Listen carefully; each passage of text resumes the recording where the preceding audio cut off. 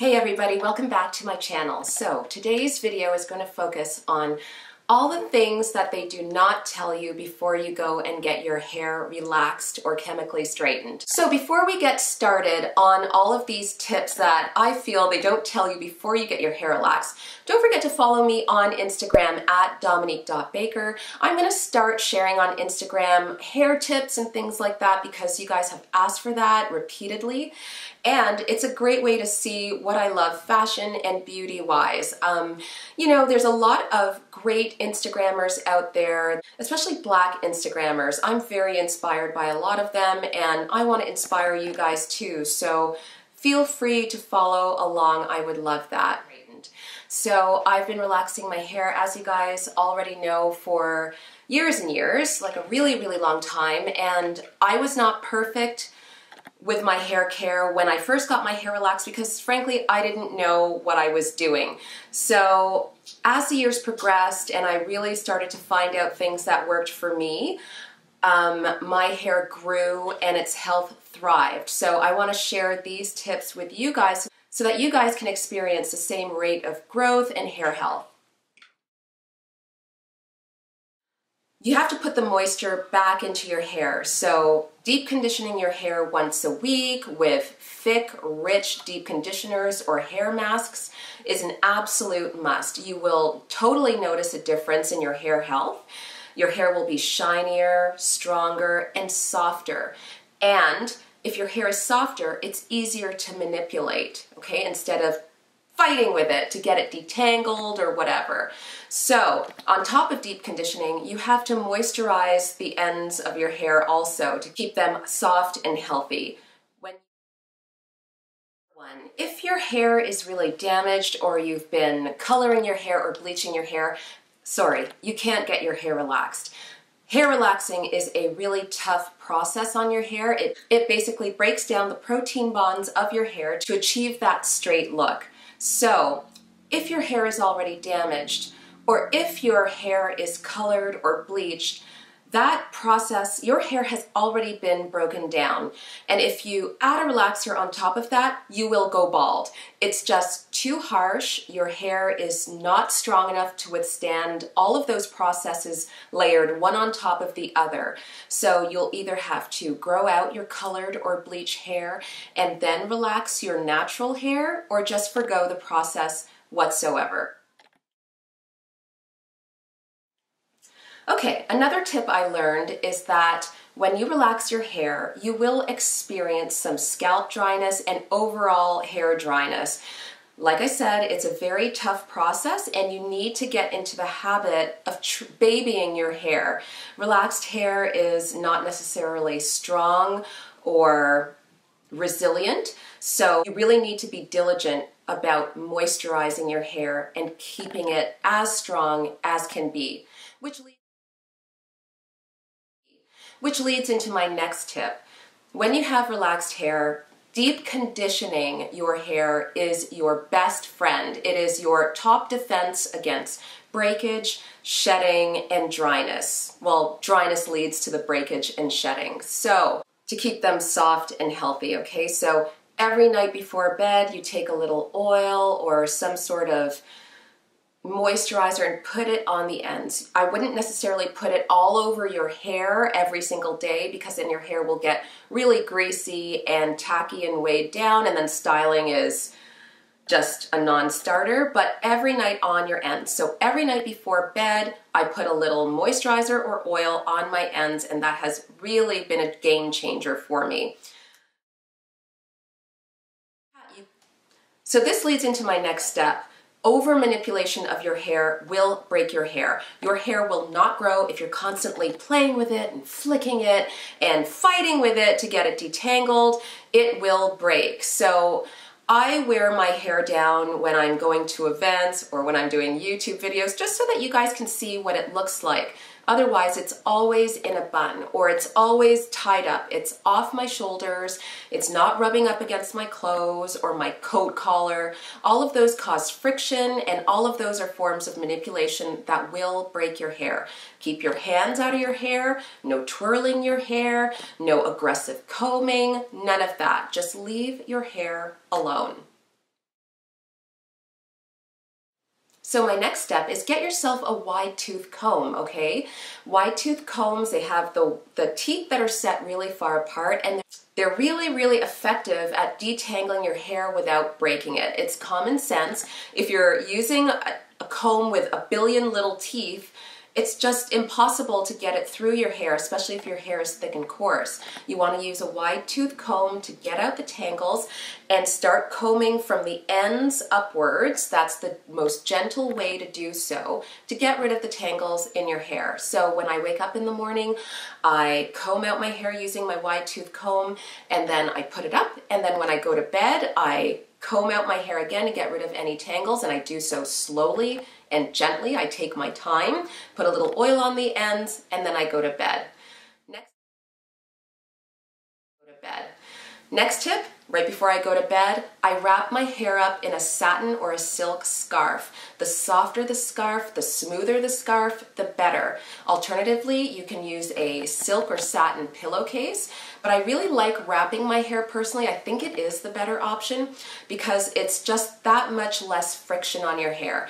If you go to bed with your hair in, let's say, a scrunchie or just loose, it's still rubbing up against your satin pillowcase. You could experience a little breakage, but not much. But why chance it? I just wrap my hair around my head and then I clip it, put the satin scarf around my hair, and then I remove the clips, boom, and then I go to bed. And when I wake up the following morning and remove the scarf, my hair looks like it's been blown out. So this next tip is a really important one. If you expect to have healthy, relaxed hair, you can't be using heat tools in your hair very often. I use them very, very sparingly because they sap the moisture out of your hair. It's like, really you notice a difference. If I have a bunch of events one after the other and I'm using a curling iron a lot, my hair just dries out. It feels like hay. They're really, really bad for your hair. Um, okay, so another tip that I don't practice enough myself, but I would like to start is roller setting is a great option to promote healthy hair if you have relaxed hair. When you wash your hair and you put your hair in rollers, it's and then you go under the dryer, there's less direct heat and you're not over manipulating your hair. Let's say when you're blowing it out with a blow dryer and then flat ironing it, you're just putting it in rollers, sitting under the dryer, and then your hair is nice and detangled and you can, you know, comb it out and have a great look. And that really, really promotes healthy hair because it doesn't sap the moisture out of your hair as much as blow drying and flat ironing. So that's something I really want to get into. I have a lot of hair, it's long. I the thought of putting my hair into rollers is daunting, but if I want to keep the health of my hair, that's something I, I definitely want to get into. I just wish there were more hours in the day because roller setting your hair and sitting under the dryer, well, for me, it, it was like a two, three hour process. I just don't have that time. So I just want to go back to coloring your hair. It is possible to color your hair if you have a relaxer, but you really should stick to semi-permanent rinses.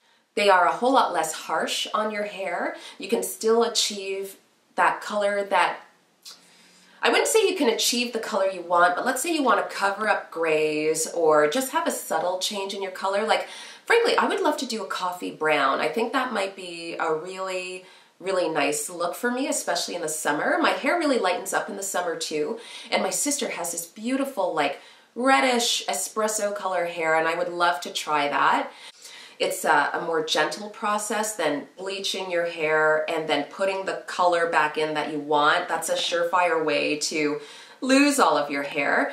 But yeah, I think I'm gonna try that this summer and I will do a video on how that goes. But Gloria, my hairstylist, is a total pro and this is what she recommends for covering grays or achieving like a subtle color difference.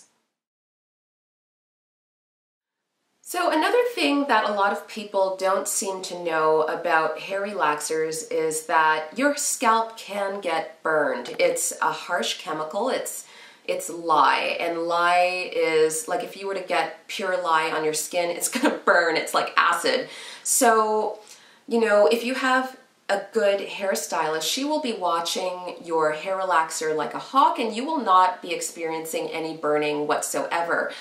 But everybody's skin is different and I have a very sensitive scalp, so Gloria puts um, Vaseline or some other thick cream along my hairline and the um, nape of my neck because that's where I generally burn. I have really sensitive skin, so um, every now and then I'll get a few minor burns, but it can really hurt and it can really make the process uncomfortable.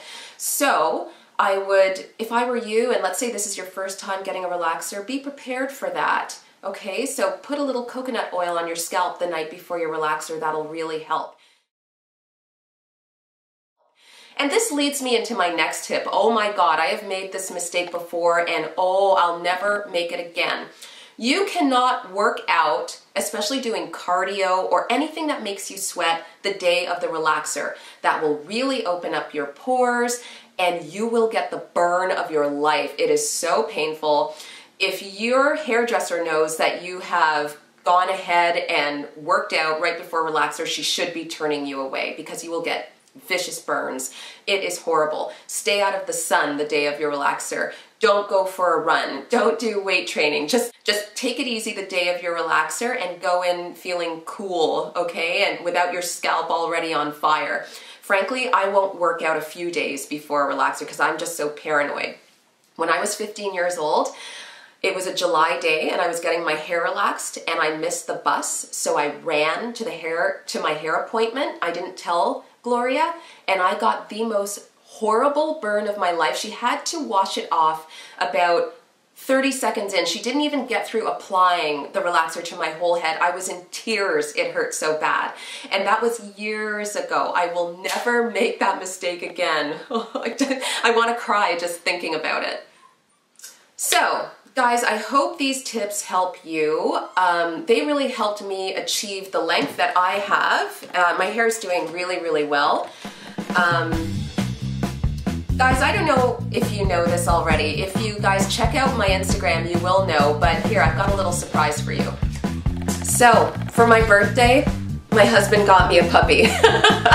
Everybody meet Reese. He is my 12-week-old Bernedoodle puppy. A Bernedoodle is half Bernese Mountain Dog, half Golden Doodle. He is the nicest little dog ever. He's super, super affectionate. I also call him Hurricane Reese because he never stops moving or running. He's totally adorable. Anyways, he broke into the room here and was making a lot of noise, so I thought I would introduce him. Say hi to the camera, Reese. Say hi. Don't bite me. So I really hope that these tips help you guys. They really helped me achieve healthy hair. If you have any other tips, please DM me or leave them in the comments. Just like you guys, I like to learn. And don't forget to follow my Instagram at dominique.baker. I will be featuring more hair tips on my Instagram. A lot of you guys ask for that, so that's something I'd like to start. I also focus a lot on fashion and beauty on my Instagram account, so please feel free to follow me and see what I'm loving. Don't forget to check out my blog, styledomination.com. Anyways, bye for now, guys. I hope you like this video. Talk soon.